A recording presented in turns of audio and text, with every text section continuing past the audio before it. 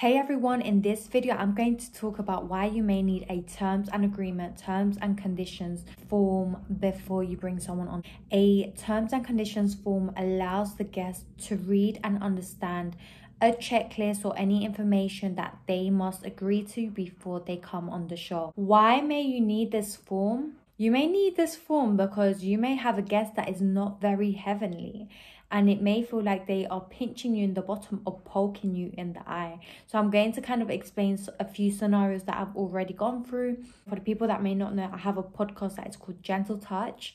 It has over 160 episodes. So you will know when you need a terms and agreement. But if you're taking podcasting serious, if it's something that you enjoy, if it's something that you're like, I'm in it for the long run, you definitely need this. There may be various reasons where why you may need one. Like the most most important reason for me to have a terms and agreement form for each guest that comes on the show and for them to read it, understand it, ask questions, and sign it. Even though the aim is to record and to post, I am in under no obligation made to post the episode. This could be for various reasons. I'm going to talk about a few things that I have gone through, a few different case studies. I remember one time I had a guest and the, the the thing is with podcasting is there is a lot of gatekeepers. If you want to bring someone on the show you will be talking to managers you'll be talking to agents you'll be talking to virtual assistants pas you name. You may not feel the energy of the individual until you're recording. And then i feel like it's really really beautiful when you have that interaction with someone beforehand because you kind of get a gist of their flow their energy. So i had one guest she had 300k followers on instagram but she was so obnoxious she was so arrogant.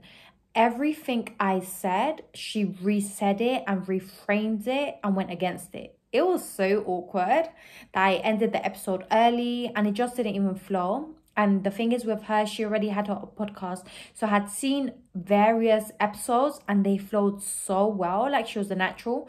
And then that's okay. It's okay. Like you're not going to be for everyone. Everyone's going to be for you. And sometimes you may not connect with everyone on an energetic basis. And that's okay. So say for example with that case i didn't post it at all. A second case i had was an individual and I feel so shy saying this. He had a runny nose. He had a runny nose the whole time. And it's like I'm speaking to him and like he instead of just blowing his nose, he just kept like you know when you breathe in and it's like you have a runny nose, but instead of nose, you're just like out here just I don't know. I edited half of the podcast and then I was just like, I can't do this. Like, I'd rather pull out my eyelashes because this is just insane. Another thing with him was that I invited him to talk about a particular subject. He agreed to it. And when it came down to it, he talked around the subject and not on the subject. What am I going to do with this? So it's like me, let me give you an example. It's like me saying we're going to talk about menstrual cycles, periods, but you tell me how it is to be a girl which is kind of related, but it's not the subject.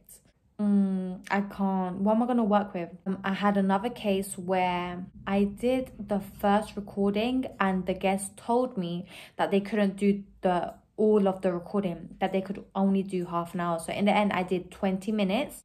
And then we were meant to record the second part the following day. They had me wait for half an hour.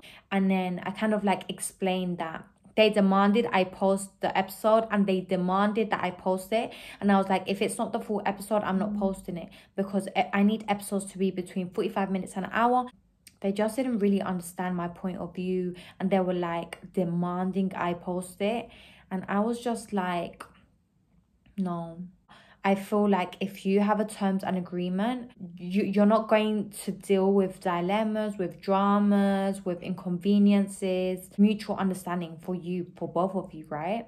Other reasons you may have one is, say, for example, if guests cancel less than 24 hours before, do you want to reschedule? If they cancel on the day, would you reschedule them? Like, how does that work with your boundaries? How does that work with your work schedule? Another one is if they are late. If they are late, how much are you willing to wait or how? So say for example, my episodes last between 45 minutes and an hour. So I can potentially wait 15 minutes, no longer because then it's going to cut into the episode because if we start 15 minutes late at least i could get a recording of 45 minutes obviously when it comes to if they're late or if they cancel on the day for me, the most important one is just knowing that if you come on, it's not an obligation for me to release it. I would love to release every epi- every episode because obviously it's time, work, and dedication that goes on. By the time I build rapport, by the time I do the outline, by the time we schedule, by the time we record, by the time we edit, time is invested into the podcast, and it's a lengthy process.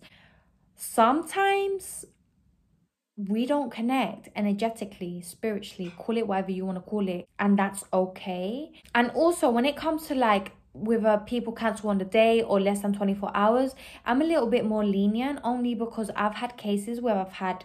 Um, on two different occasions, I've had five podcast recordings and I've had to cancel on the day, unfortunately. I I remember I was in Colombia, I was in my granny's village, I had five podcast recordings and I went to record and the internet froze. Like the internet couldn't handle it. Like it, it the lag, it just froze.